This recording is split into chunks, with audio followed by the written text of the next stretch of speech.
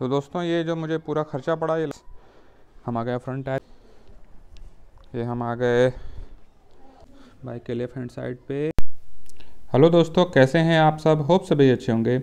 दोस्तों, आज अपनी पाची में थोड़ा सा एक मॉडिफिकेशन हम करने जा रहे हैं और उसमें व्हील कवर लगवाएँगे.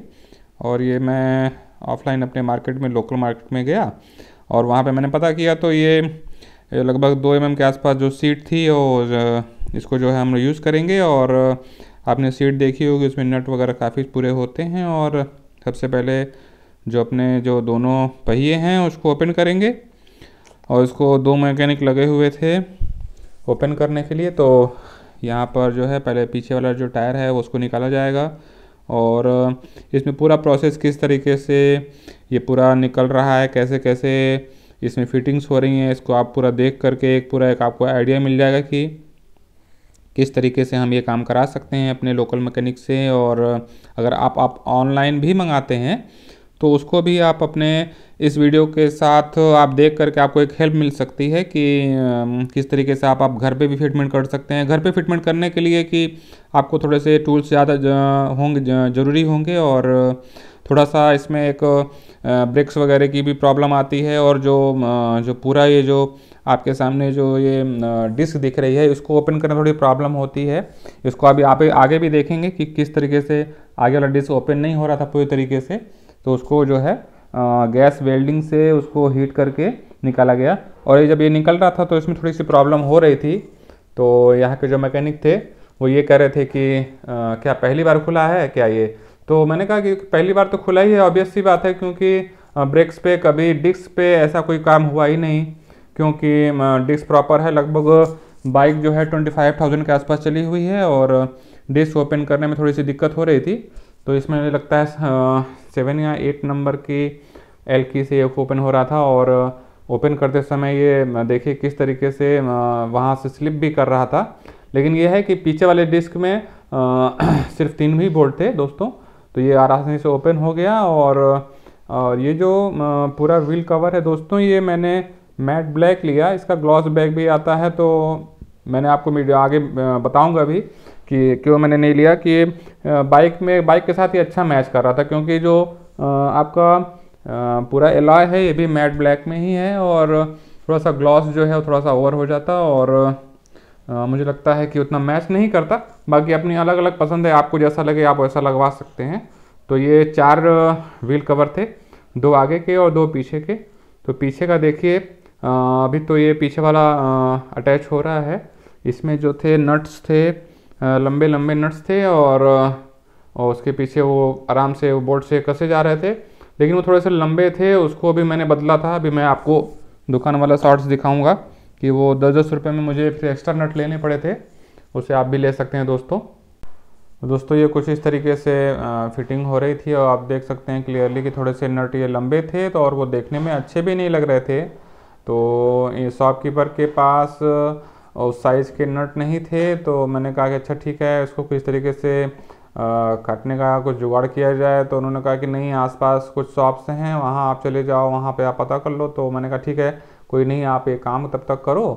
तब तक उसके बाद जो है मैं इसको चेंज करके लाता हूँ। तो दोस्तों इसमें जो है जो हवा भरने वाली जो जगह होती है वो प्रॉपर ओपन थी उसमें कोई प्रॉब्लम नहीं था। और इसमें कहीं से ऐसी कोई प्रॉब्लम नहीं आएगी कि आ, कि आपको कहीं से हवा भरवाने में आ रहे और कोई चीज़ों में कोई प्रॉब्लम आए। और इसमें थोड़ा सा एक प्रॉब्लम ये आ सकती है कि जहाँ जहाँ थोड़ा सा ये जो है देखिए दोस्तों ये जो नट थे ये एक्चुअल में उतना लंबा था और फिर उसके बाद मैंने वन वन इंचेस के ये मैंने सिक्स नट बोर्ड ले लिए थे और इसको जो है पूरे प्रॉपर तरीके से इसमें अब लग जाएगा और दोस्तों इसको जो पुराना वाला था इसको अब मैं ओपन करवा लिया था।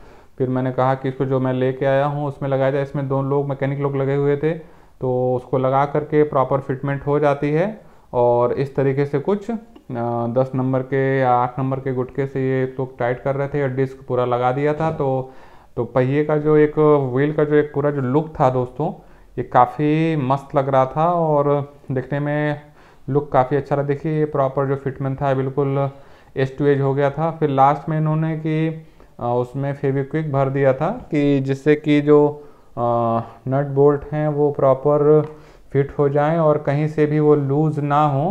बाइक चलते समय, क्योंकि बाइक जब तेज़ चलेगी तो वहाँ कुछ प्रॉब्लम हो सकती है, आवाज़ भी हो सकती है। क्योंकि व्हील कवर थोड़े अपने में ही वेट अच्छा खासा था तो उसमें कोई उतनी दिक्कत मुझे नहीं लग रही थी, लेकिन तब भी एक सेफ्टी पर्पज़ के लिए उसमें ये फेविक्विक डालना मुझे तो अच्छा लगा। उसकी जगह पे एनाबॉन्ड भी यूज़ कर सकते लेकिन एनाबॉन्ड थोड़ा सा हार्ड होता है और फिर कभी अगर यूज़ ना यूज़ ना करना हो, इसे निकालना पड़े तो प्रॉब्लम हो सकती है तो इसलिए मैंने कहा, ठीक है कोई नहीं आप इसमें जो है वो ये फेविक्विक डाल दीजिए कोई दिक्कत नहीं है। तो इस तरीके से आपका रिवर्स मेथड में आपका किस तरीके से टायर लगाया जाता है पहिया पूरा ओपन करके इसको लगा दिया गया। अब उसके बाद अगले पहिए की बारी है दोस्तों तो अगला पहिया बहुत आसानी से निकल गया। तो आप एक चीज़ ज़रूर ध्यान रखिएगा दोस्तों ये जो कैलिपर्स होते हैं डिस्क ब्रेक के इसके अंदर कुछ ना कुछ आपको आ, या तो कोई पतली आ, आ, क्या कहते हैं कोई लगा सकते हैं पत्ती या आपका कोई स्पैनर लगा सकते हैं। तो ये जो मैकेनिक ये लोग काम कर रहे थे इनके पास एक लंबा सा एक देखिए एक पेस हम्म, पूरा प्लायर नहीं सॉरी ये स्क्रू ड्राइवर का आगे वाला हिस्सा था। इसको मैंने इसको आप लगा दो कि इससे कि कोई ब्रेक दबा देगा तो बाद में ब्लीडिंग करने की ज़रूरत नहीं पड़ेगी। अगर वो ये नहीं लगेगा और किसी ने वो दबा दिया तो ये प्रॉब्लम हो सकती है। तो ये ज़रूर ध्यान रखें। अब नेक्स्ट वाला जो आगे वाला पहिया था ये कुछ इस तरीके से खुल रहा था दोस्तों। तो दोस्तों इससे का बहुत इसका बहुत ध्यान रखने लायक होता है कि ब्रेक उसमें चिपके नहीं और ये आगे वाला ओपन करने में काफ़ी मेहनत भी लग रही थी और जो मैकेनिक काम कर रहे थे इनके हाथ में चोट भी लग गई। तो आ, मतलब ये हो सकता है कि अगर आप एक घर पे काम करें तो थोड़ी दिक्कत हो सकती है और प्रोफेशनल अगर इसे कोई काम करता है तो उसमें दिक्कतें कम आती हैं और काम आसानी से हो जाता है और इसी तरीके से फ्रंट वाला जो है आगे वाले पहिए का पॉलीथीन हटाई गई और देखिए कुछ ये मैच तरीके इस तरीके का मैट फिनिश था और इसकी मोटाई आप देख सकते हैं टू टू पॉइंट फाइव या थ्री एम mm के आसपास इसकी मोटाई थी और आ, मोटाई होने का एक फ़ायदा ये रहता है जो ऑनलाइन मिलता है वो थोड़ा सा पन, पतला होता है और मोटा होने का उसमें वाइब्रेशन और बाकी चीज़ें नहीं होती हैं तो इसमें एक दो तीन चार पाँच छः बोल्ट लगे हुए थे एल एल की वाले इसमें दो बोल्ट आपस में आस मतलब काफ़ी हार्ड थे वो ओपन नहीं हो रहे थे। तो वहाँ पास में एक गैस वेल्डिंग की शॉप थी वहाँ पे भैया को वो मैकेनिक ले गए। मैं भी साथ में गया था तो मैंने कहा इसकी वीडियो ज़रूर बनाई जाए। आपको भी एक आइडिया मिल जाएगा कि अगर किस तरीके से आ, कोई बोल्ट नहीं ओपन होता है तो हम किस तरीके से ओपन कर सकते हैं? क्योंकि पहले जब ये बोल्ट कंपनी में टाइट होते हैं तो कुछ ना कुछ इसमें एनाबॉन टाइप का या ग्लू टाइप का कुछ लगाते हैं और जिसकी वजह से ये जो है ओपन होता है। ओपन नहीं हो पाता, सॉरी। तो इसको लगा के आसानी से ओपन हो जाता है। तो अब जो ये वाले भैया थे, क्या तो दोस्तों ये वाला जो दूसरा वाला बोल्ट भी था तो उसको भी गर्म किया था भैया ने और इस तरीके से वो ओपन हो जाता है। और ऐसे ही मैंने एनाबॉन्ड लगा करके एक जगह मैंने अपने हाँ अपने हंटर में भी किया था तो मुझे भी निकलवाना पड़ा था। और वो आसानी से ऐसे वेल्ड को सॉरी मतलब नट को जो है वो गर्मा करके, वो ठोक ठाक करके वो आराम से निकल जाता है बहुत ही ईजिली ओपन हो रहा था। तभी तो ये बहुत गर्म था। तो आसानी आसानी से ये ओपन हो गया। तो फिर जो है ये दुकान पे जाते हैं हम लोग इसको ले करके और फिर बाकी फिटमेंट कराते हैं। तो ये देख सकते हैं आपकी जो इसका बीच वाला जो सर्कल था, वो थोड़ा सा प्रॉब्लम कर रहा था तो फिर उन्होंने क्या है, जो शॉपकीपर के जो हेड थे, वो शॉप के जो हेड थे, वो फिर इन्होंने पेंसिल मार्किंग की और इसको जो है पतले कटर से हैंड कटर से ही हैंड कटर से उसको बराबर काट दिया। तो देखिए, ये जो है, ये शॉपकीपर ये जो थे, वो हेड थे। इन्होंने प्रॉपर उसको काट करके और उसमें जो है जहाँ जहाँ पर भी ग्रुप्स चाहिए होते थे यहाँ पे बाई बाकी गाड़ियाँ भी थी तो काफ़ी भीड़ थी और, लेकिन तब भी मुझे लगभग यहाँ पे दो से ढाई घंटे लग गए थे क्योंकि काफ़ी मॉडिफिकेशन में टाइम लग रहा था। कहीं देखिए प्रॉपर कट के लग गया था और, समय इसमें आपको दो से ढाई घंटा लग सकता है अगर आपके नट बोर्ड्स आसानी से ओपन नहीं हो रहे हैं दोस्तों।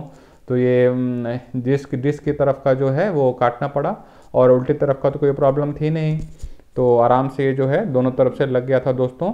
तो दोस्तों, ये लास्ट की कुछ एडजस्टमेंट करनी थी तो जिससे कि जो हवा भरने वाली जगह है, वो प्रॉपर तरीके से वो हो जाए। और इसमें कुल छः बोर्ड लग रहे थे दोस्तों तो छः बोर्ड लगा करके और इसको प्रॉपर एल की वजह से एल की के काल एल की के हेल्प से और पूरी तरीके से वो टाइट हो गया। कोई दिक्कत नहीं हुई। और क्या नाम है ये है कि आपको एक पूरा आइडिया मिल जाएगा कि ये किस तरीके से पूरा काम कराया जाता है और इसे भी आप काम करा सकते हैं। बाइक थोड़ी सी स्पोर्टी लगेगी और लुक बढ़ जाएगा। और मैंने काम, बाइक तो काफ़ी पुरानी हो गई है, लगभग छः साल हो गए हैं, लेकिन मैंने कहा क्यों ना ये काम कराया जाए। देखिए, शाम हो गई थी काफ़ी और ठंड का मौसम है और ये थी इनकी शॉप और जब शाम हुई तो कुछ गाड़ियाँ कम हो गई तो कुछ रस कम हो गया। बाकी ये बाइक का मॉडिफिकेशन का पूरा एरिया है काफ़ी अच्छा है गोरखपुर का और यहाँ पे काफ़ी चीज़ें मिल जाती हैं और आप अपने बाइक को आराम से मॉडिफाई कर सकते हैं दोस्तों। और देखिए किस तरीके से अब पूरी तरीके से जो, जिस तरीके से पहिया निकाला गया था, वो अब उसको फिर दोबारा जो है लगाया जा रहा है दोस्तों। और चूँकि शाम हो गई तो उसका पूरा एक ओवरव्यू जो है मैं नेक्स्ट डे दूँगा आपको दोस्तों। तो कुछ इस तरीके से पूरा ये लगा दिया गया। भैया लोगों ने काफ़ी मेहनत की और चहल पहल कुछ कम हो गई थी दोस्तों। और इस तरीके से ये लग जाता है और तो दोस्तों अभी पूरा ये कसने के बाद बाइक हमारी रेडी हो जाती है। तो दोस्तों मिलते हैं अगले दिन। तो आइए दोस्तों, दोस्तों हो गई थी शाम और लौटते में थोड़ी देर हो गई और बाइक भी गंदी थी तो आज बाइक कर ली है साफ़। और देखिए साइड से कुछ ऐसा है लुक।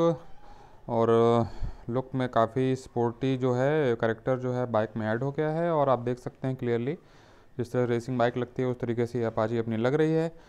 पहले की फ़ोटो मैं आपको डाल दूँगा, आप देख सकते हैं कि किस तरीके से लग रही है और अब कैसी लग रही है दोस्तों। तो मुझे तो काफ़ी अच्छा लग रहा है ये मॉडिफिकेशन और आपको कैसा लगा ज़रूर कमेंट में ज़रूर बताएँ।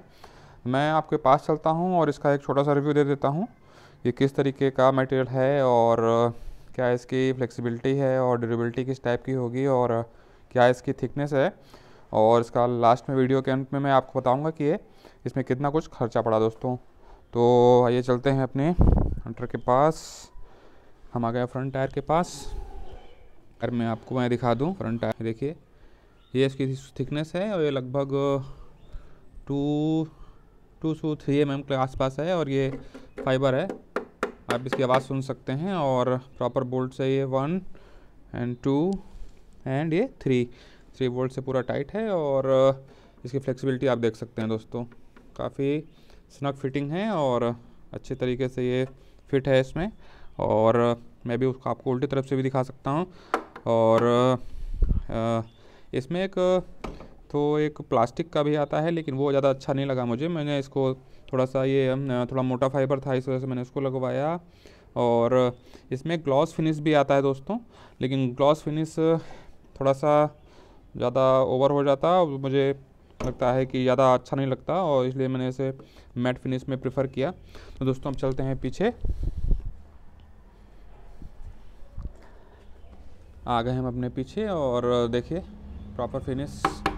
ये देखिए, सेम वही मटेरियल है, और काफ़ी अच्छा लग रहा है दोस्तों और लुक जो है इन्हेंस कर दे रहा है। आपको मैं अपने इसको बाइक के लेफ़्ट हैंड साइड से दिखाता हूँ।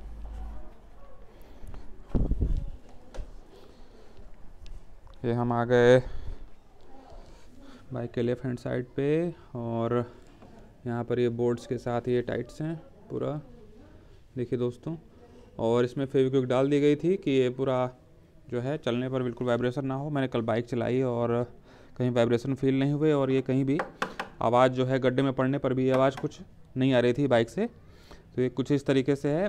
फ्रंट वाले में थोड़ी सी जगह यहाँ बच रही है क्योंकि लेफ़्ट साइड में ये जो व्हील का जो पूरा आर्च है ये थोड़ा छोटा है। आ, बाकी जो है सही लग रहा है मुझे ये। आपको मैं पीछे दिखा देता हूँ।